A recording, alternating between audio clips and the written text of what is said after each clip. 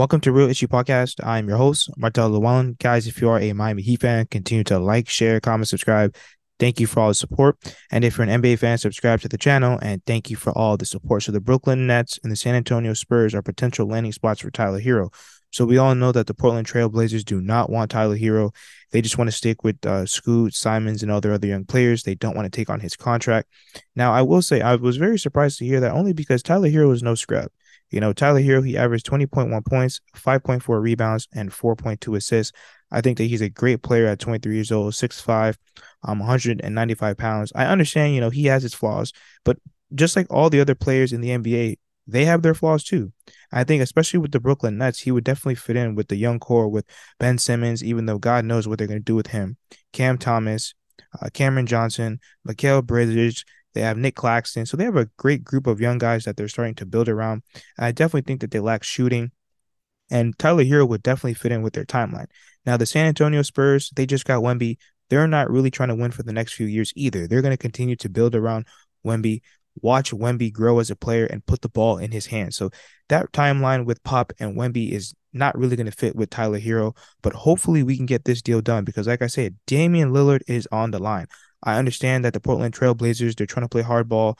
They're really not trying to work with Miami, quote unquote, and not, you know, give Damian Lillard his wishes, which I really find hard to believe only because they're the ones who failed Dame. If anything, they should have traded Damian Lillard years ago. They probably would have got better assets. He probably would have only requested Miami because when Dame requests Miami, no other team is going to trade for him. Why? Because they all know Dame does not want to be there. So they're not going to give up assets. They're not going to give up, you know, good young players. And then Dame leaves anyway. So I think that this is really on Portland. I know that a lot of people are saying that, oh, well, if Portland makes this trade with Miami, it's going to be one of the worst trades in NBA history. No, you guys are just mad because Damian Lillard is going to the Miami Heat. Um, Dame, he stuck it out in Portland. He was as loyal as anybody could be the Portland Trailblazers, they're the ones who failed to put an adequate roster around him. They traded CJ away, Norman Powell away, a bunch of great pieces, and they got absolutely nothing in return. They've been lying to Damian Lillard, giving him false hope for all these years.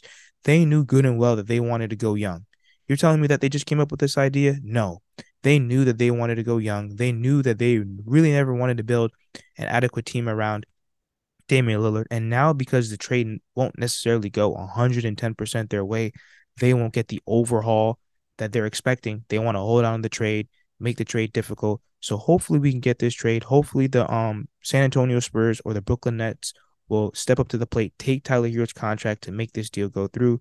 Because I know that the Brooklyn Nets, they're also contemplating, okay, which player will we might have to give up to make this trade work, to make all the numbers work. Let me know what you guys think in the comments. Like, share, comment, subscribe as we continue to push to 2,000 subscribers.